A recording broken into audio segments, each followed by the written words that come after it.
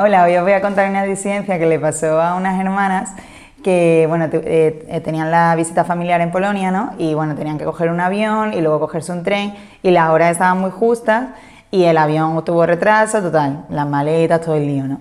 Entonces, eh, cuando llegaron allí, antes de coger el tren, mm, una empezó a agobiarse y dijo, mira, la verdad, mm, con perspectiva no vamos a llegar, es, muy, es imposible, ¿no? Y dice, ¿para qué nos vamos a dar el carrerón y vamos a llegar agobiados para que el tren se vaya delante de nuestra, ¿no? Que ya está. Y la otra dijo, ya, la verdad está súper difícil, pero bueno, vamos a intentarlo, en plan, no sé.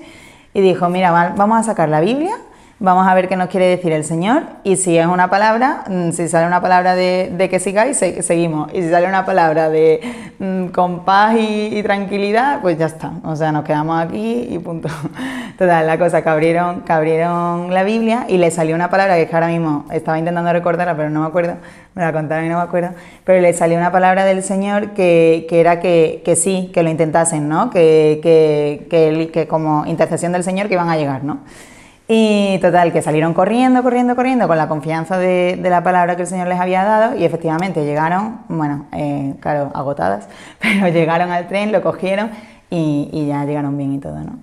Y nada, con esto, o sea, es una historia súper bonita y la verdad que de estas tenemos un montón porque muchas veces utilizamos muy poco la Biblia, ¿no? Y, y sobre todo el Nuevo Testamento, las palabras que el Señor tiene para nosotros y que hay veces eso que a lo mejor pues no sabemos a dónde ir, o sea, hacia, hacia qué camino coger, hacia dónde dirigirnos en el sentido de nuestra vida ¿no? interior.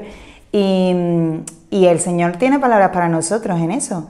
O sea, hay, mucho, hay muchas veces que, que eso, que a lo mejor estamos bloqueados, que a lo mejor estamos, mm, pues yo qué sé, que no sabemos hacia dónde tirar.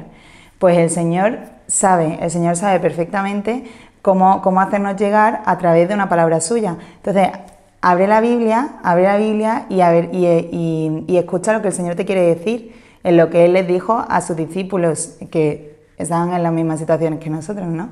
Entonces, nada, que usemos la Biblia y que confiemos en, en en las palabras del Señor que siempre son esperanzadoras para nosotros.